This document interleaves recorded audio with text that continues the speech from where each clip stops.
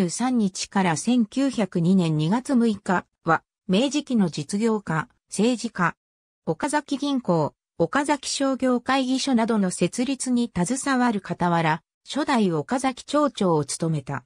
近代黎明期の岡崎の発展に寄与した人物の一人。深田が創設に尽力した岡崎商業会議所、岡崎城下の投げ町で酒造業を営んでいた深田家に生まれる。幼名は貸地。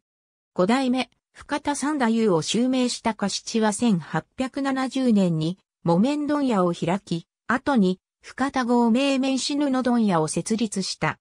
1880年10月、愛知県会議員に初当選し、3期務めた。1881年、千賀伝三郎ら産業界の有力者らと岡崎貯金銀行を設立した。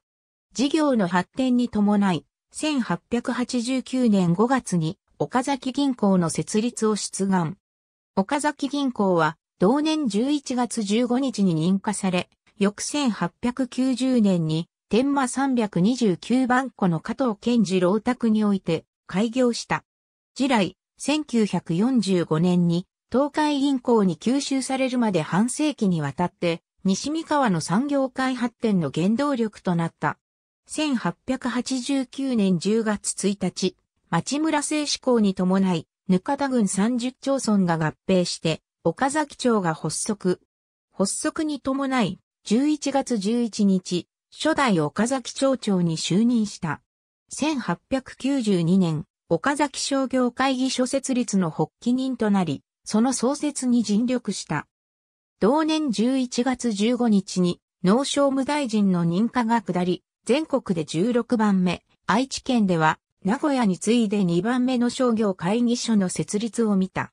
深田は岡崎商業会議所の設立時仮回答を務め、1897年には回答に就任した。この間、1894年には岡崎米国取引所を設立し理事長に就任。